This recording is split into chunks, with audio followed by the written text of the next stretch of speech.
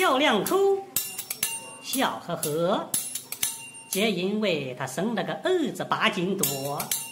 满月后请了位大师起名字，和他妈高高兴兴的把话说。